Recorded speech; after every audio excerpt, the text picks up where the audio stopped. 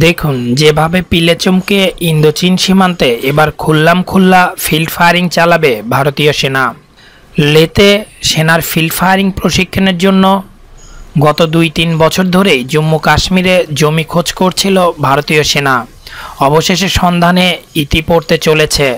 জম্মু কাশ্মীর প্রশাসনের পক্ষ থেকে জানানো হয়েছে যে সেনার ফিল্ড ফায়ারিংয়ের জন্য একটি ষাট হাজার একরের জমি তারা ইতিমধ্যেই বন্দোবস্ত করেছে লাদাখে। সেনার পাঁচ বছরের জন্য লিজে দেওয়া হবে সেই জমি।